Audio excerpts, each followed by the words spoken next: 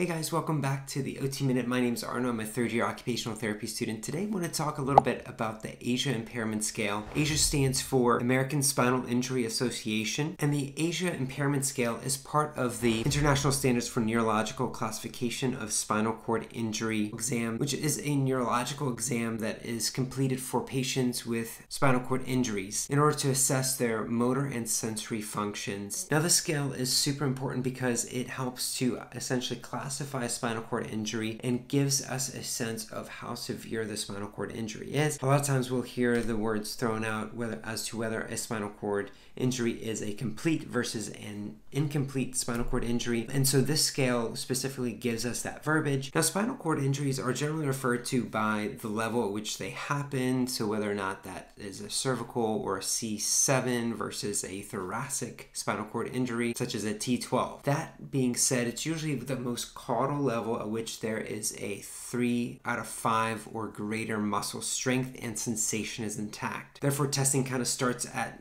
higher dermatomes to figure out where's the last level of sensation. And then motor function of key muscle groups is tested by manual muscle testing in order to assess what key muscle groups have at least a 3 out of 5 strength or more. Based off of that information, then a neurological level of injury is given. Now let's run through these levels really quickly. There are five levels A, B, C, D, and E. A being the worst injury, which is a complete injury, and then E being normal neurological function. Now, an AIS or ASIA Impairment Scale score or level of A indicates that it's a complete spinal cord injury, meaning that there is no sensation or motor function in sacral segments S4 to S5. Now, S4 and S5 innervates the sensation of the anal area as well as the sphincter muscle. Therefore, if there's no sensation or motor response at that level, that would indicate a complete spinal cord injury. Now, as we move to an AIS score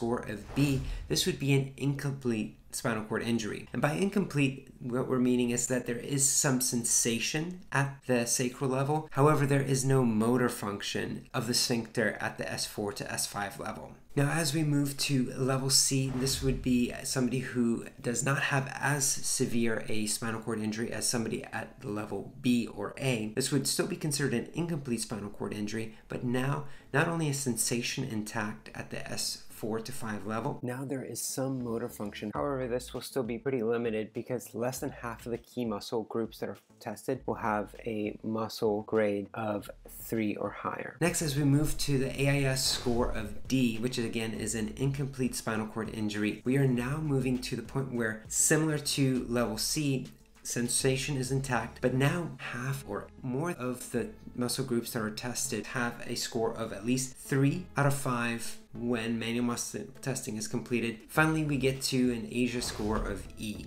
This would mean normal sensation and normal motor function. Just want to sum it all up in a little visual um, so that you can review it real quick if you're studying for an exam or something like that. I try to simplify this to be a little bit more visually intuitive. And so it's very simplified. So I always recommend if you want to really dig into the details of the scale, definitely look at the original. I'll post a link below. On the left here, you have the level of injury. So an ASIA score of A would indicate a complete injury, B, a sensory incomplete injury, C, a motor incomplete injury, D, also referred to as motor incomplete injury, and then E as in normal neurological functioning. Now, I recommend memorizing both A, B, C, D, and E, as well as complete, sensory incomplete, motor incomplete, uh, and so forth, because sometimes a person or test question may refer to either one of those terminologies in order to identify the severity of an injury.